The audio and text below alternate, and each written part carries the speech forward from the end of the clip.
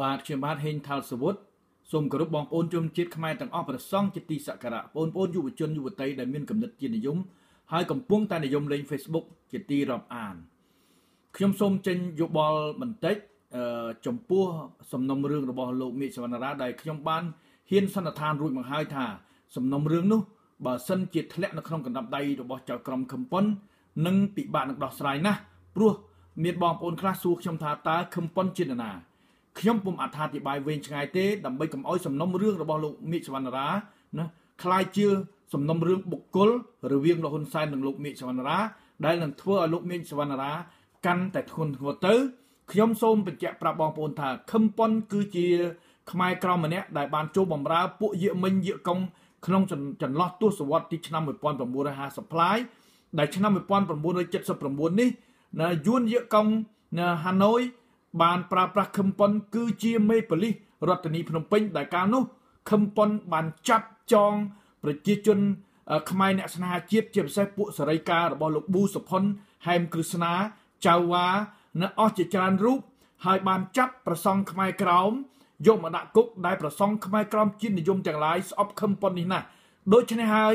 ខ្ញុំគ្រាន់តែសូមបញ្ជាក់ថារឿងនេះជារឿងវែងឆ្ងាយណាស់ដែលគណៈបកសង្គ្រោះជាតិត្រូវតែយល់ថា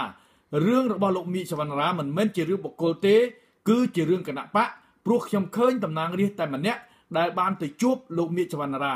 ដូច្នេះហើយដើម្បីកុំឲ្យលោកហ៊ុនសែននឹងយួនប្រើប្រាស់លោកមីសវណ្ណរាក្នុងក្នុង